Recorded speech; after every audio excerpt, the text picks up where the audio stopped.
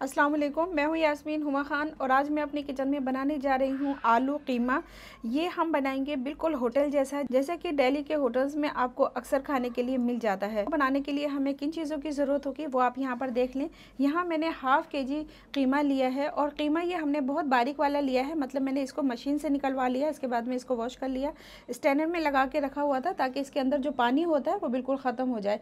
एक बड़े साइज़ का आलू लिया है, आप देख सकते हैं ये काफ़ी बड़ा है आलू।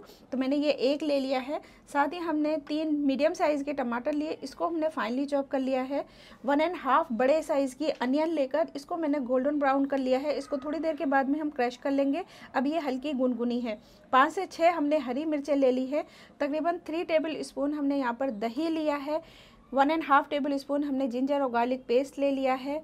और गरम मसाले में यहाँ तेज़ पत्ता ले लिया है मैंने तीन। वन टीस्पून ज़ीरा लिया है, दस से बारह हमने काली मिर्चें ली हैं, दस से बारह ही लौंग ली हैं। एक पीस हमारे पास सिनेमन स्टिक का है एक बड़ी इलायची है और तीन यहाँ पर छोटी इलायची हैं। अब आ जाते हैं हम इनके मसालों की तरफ़। तो मसाले वही हैं जो घर में आम तौर पर होते ही हैं। सभी के घर में बहुत आसानी से मिल जाते हैं। वन टेबल स्पून हमने यहाँ कोरिएंडर पाउडर लिया है। वन टी स्पून हमने रेड चिली पाउडर लिया है। वन टी स्पून हमने यहाँ चिली फ्लेक्स ले लिए हैं, यानी कि कुटी हुई मिर्चें। वन टी स्पून हमने यहाँ पे सौंफ का पाउडर लिया है। वन टी स्पून हल्दी का पाउडर लिया है। वन टी स्पून हमने यहाँ सॉल्ट लिया है। वन टी स्पून हमने भुना और कुटा हुआ ज़ीरा ले लिया है।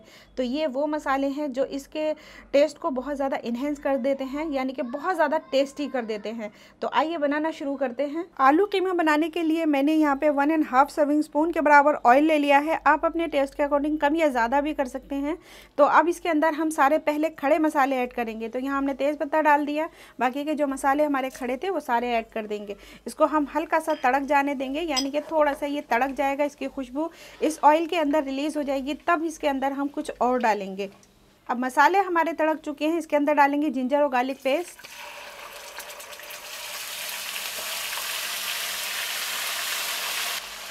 Ginger garlic paste को भूनते हुए तकरीबन 30 से 40 सेकंड हो गए हैं। अब इसके अंदर हम ऐड कर देंगे कीमा।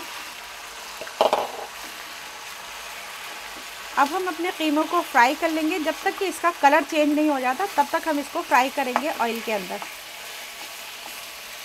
कीमे का कलर हमारा बिल्कुल बदल चुका है और कुछ सेकंड के लिए हमारा कीमा फ्राई भी हो गया है ऑयल के साथ में। अब इसमें हम ऐड कर देंगे मसाले जो हमने आपको मेंशन किए हैं। वो सारे यहाँ पर ऐड कर लेंगे। अच्छी तरीके से हम इनको मिक्स कर लेंगे।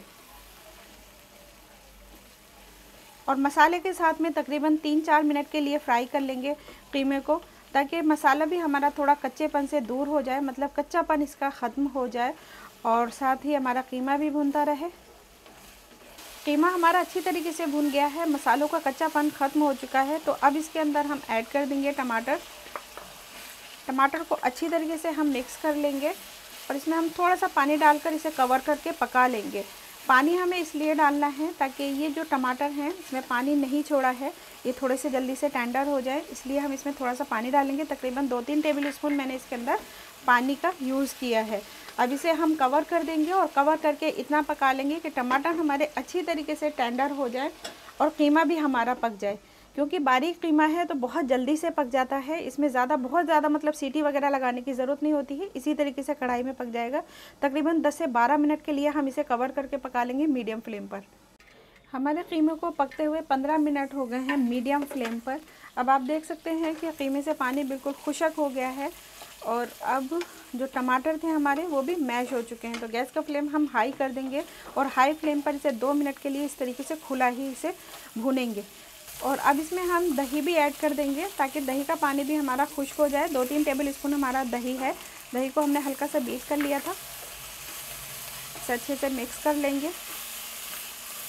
और साथ ही इसके अंदर हम ऐड कर देंगे अनियन, जिसको हमने क्रश कर लिया है। फ्राइड अनियन हम यहाँ ऐड कर देंगे। अब दही का पानी बिल्कुल खुशक होता है, तब तक हम इसे खोल कर भून लेंगे। दही का पानी हमारा खुश्क हो चुका है। अब आप देख सकते हैं कि इसके अंदर पानी बिल्कुल भी नहीं है। अब इसके अंदर हम आलू ऐड कर देंगे। आलू को मैंने इतने छोटे छोटे पीसेस पे कट कर लिया है। आप देख सकते हैं, एक आलू में से पहले मैंने चार पीस किए फिर एक पीस में से चार पीस किए। इस तरीके से मैंने इसको कट किया है। आप देख सकते हैं कि आलू मैंने छोटे छोटे कट किए हैं। होटल में जो आलू कीमा मिलता है, उसके आलू बहुत छोटे छोटे कट किए हुए होते हैं। तो वही हमने उसी तरीके से कट कर लिए हैं। अब इसी के अंदर हम ऐड कर देंगे हरी मिर्चें। इनको भी हमने ज़्यादा मोटा कट नहीं किया है, बारीक बारीक ही कट किया है। बहुत ज़्यादा बारीक भी नहीं है। अब इनको हम अच्छी तरीके से मिक्स कर लेंगे। एक मिनट के लिए हम पका लेंगे, सूखा ही, उसके बाद में हम इसमें पानी ऐड करेंगे। आलू के साथ में हमने कीमे को तकरीबन एक मिनट के लिए और भून लिया है। अब इसके अंदर हम पानी ऐड कर देंगे। पानी हमें इतना ऐड करना है जितने में हमारे आलू टेंडर हो जाएँ। तो ये कप मैंने तकरीबन आधा कप मैंने इसके अंदर पानी ऐड कर दिया है। आधा कप से थोड़ा ज़्यादा ही है। मीडियम फ्लेम कर देंगे और तब तक पका लेंगे जब तक कि हमारे आलू अच्छे तरीके से टेंडर हो जाते हैं। ये ज़्यादा पतला नहीं होता है खुशक खुशक ये होता है तो इसमें पानी डालने की इतनी ज़्यादा ज़रूरत नहीं है कि इसमें शोरबा हो, क्योंकि ये बारीक कीमा है, इसमें सिर्फ़ आलू टेंडर होने चाहिए। हमें इतना ही पकाना है, इस तरीके से हम इसको कवर कर लेंगे और गैस का फ्लेम मीडियम कर देंगे। मीडियम फ्लेम पे इसे तकरीबन 20 मिनट के लिए पका लेंगे। आलू कीमे को पकते हुए तकरीबन 20 मिनट हो गए हैं और आलू हमारे अच्छी तरीके से टेंडर हो गए हैं। इस वक्त मैंने गैस का फ्लेम बिल्कुल स्लो करके रखा हुआ था। 15 मिनट मैंने इसको मीडियम फ्लेम पे पकाया, उसके बाद में 5 मिनट के लिए मैंने इसको दम पे रख दिया ताकि आलू हमारे अंदर तक सॉफ्ट हो जाए। अब ये बिल्कुल टेंडर हो चुका है और हमारा आलू कीमा बहुत अच्छा पक कर तैयार हो गया है। अब इसमें हम हाफ़ टी स्पून गर्म मसाला पाउडर ऐड कर देंगे और साथ ही हम इसमें हरा धनिया ऐड कर देंगे। काफ़ी सारा सा हम हरा धनिया ऐड करेंगे क्योंकि इसका फ्लेवर बहुत अच्छा आता है। इन सब चीज़ों को अच्छे से मिक्स कर लेंगे और इसको कर लेंगे हम डिश आउट होटल स्टाइल हमारा आलू कीमा बनकर तैयार है। ये बहुत ज़्यादा टेस्टी बना है। आप इसे नान के साथ में भी सर्व कर सकते हैं और घर की चपाती रोटी के साथ में भी खाइए। ये बहुत ज़्यादा मज़ेदार लगेगा आपको। अगर आपको ये रेसिपी पसंद आती है लाइक और शेयर करें और मेरे चैनल को सब्सक्राइब करना मत भूलिएगा। मैं फिर हाजिर होती हूँ एक नई रेसिपी के साथ में। तब तक अपना और अपनी फैमिली का ख्याल रखें। अल्लाह हाफिज़।